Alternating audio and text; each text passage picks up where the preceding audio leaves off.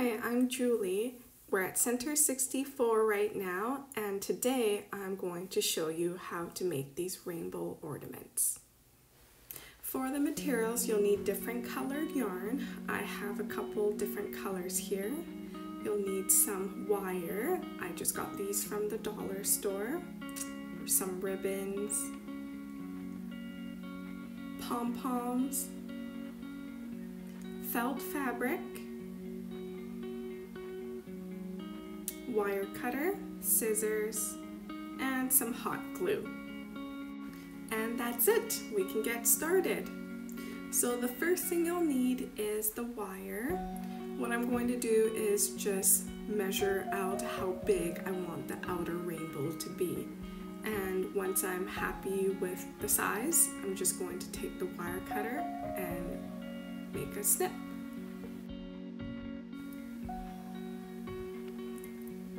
Ta-da! Okay, so next I'm going to choose my yarn. I'm going to start with the pink here. And what I'm going to do is just with one hand, hold on to the yarn and just start wrapping. Make sure you wrap over the loose end so it keeps it in place.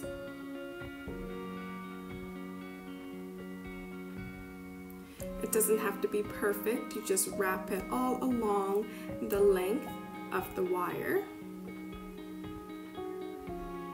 And you can go over it a couple times just to get your desired thickness. So I finished wrapping my yarn around the wire and now to end off I'm going to put the yarn around my index finger make a loop. I'm going to cut off the yarn and then pull the string through to make a knot.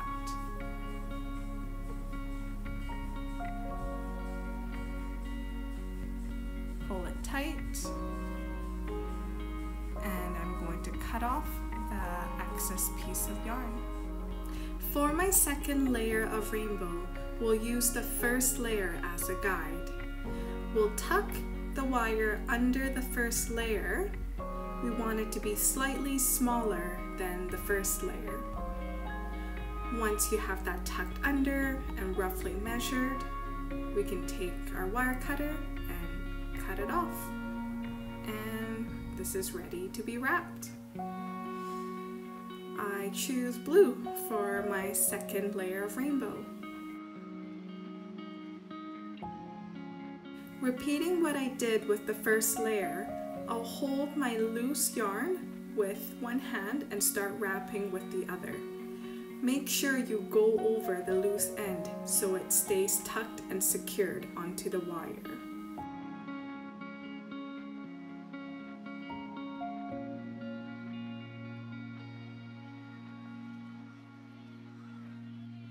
Once again, to end off your rainbow, Wrap the yarn around your finger. Cut off the loose yarn, thread it through the hole, and pull it tight. And you can cut off the excess.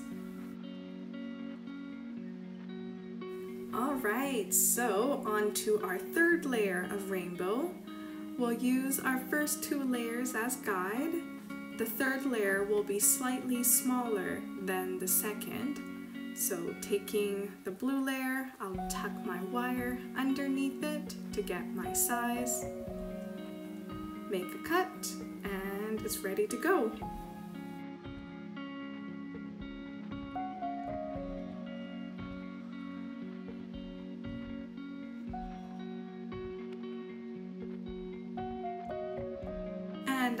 And my fourth layer, which is also my last layer. You get pretty quick at wrapping by then. Alright, now that we've finished four layers of rainbows, we can align them up, stacking them one on top of the other. After aligning the layers, we bend them to the curve of the rainbow. Once you have your curve, we'll take our felt fabric, place the rainbow on top, just like so. Take my Sharpie and draw the outline of the rainbow.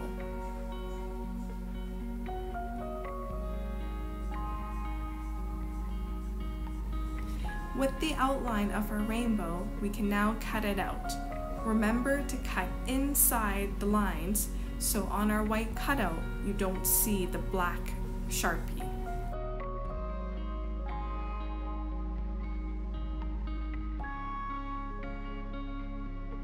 This cutout serves as a backing for our strands of rainbow to be hot glued onto. But before we do that, I'm going to take my ribbon make a loop hot glue that to the center of my cutout. And this is how our rainbow can be hung to different places as decor.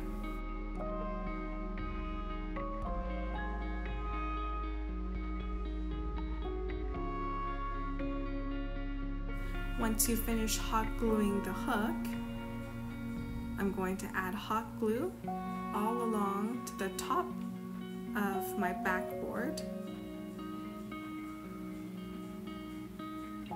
Take my first layer of rainbow and gently press down onto it. And here's how it looks. I'm going to repeat that process for all the different layers by adding hot glue beneath it and pressing my different layers of rainbow onto it.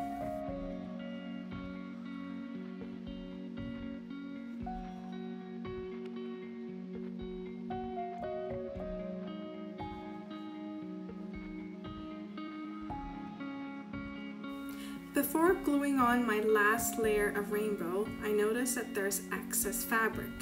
So I'm going to trim it off just so when I have my last layer of rainbow, there's no white fabric showing through.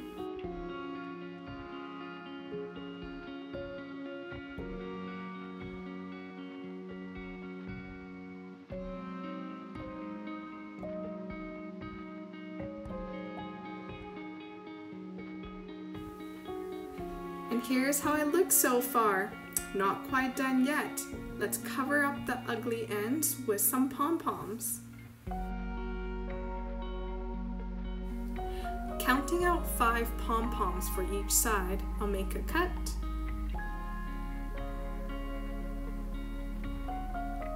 And this forms the perfect little puff of clouds to hide my ends.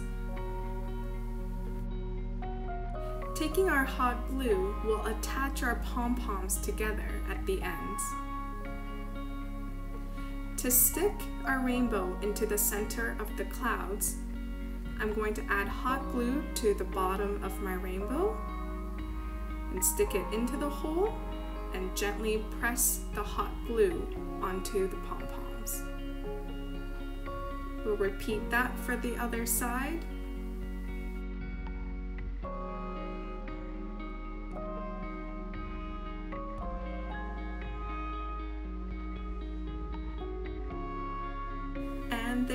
have it, our finished yarn pom-pom rainbow.